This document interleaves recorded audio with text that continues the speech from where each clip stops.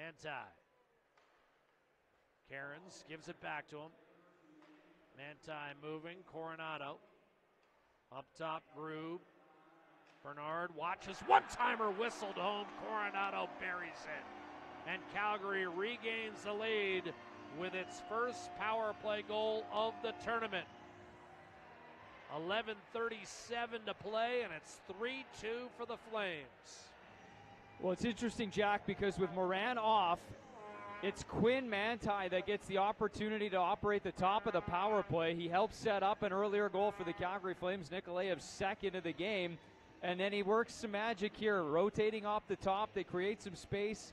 And then it's Kerins that puts it on a tee for Matt Coronato. Maybe a sigh of relief for Coronato. Get off the schneid. It's his first goal as a member of the Calgary Flames. It comes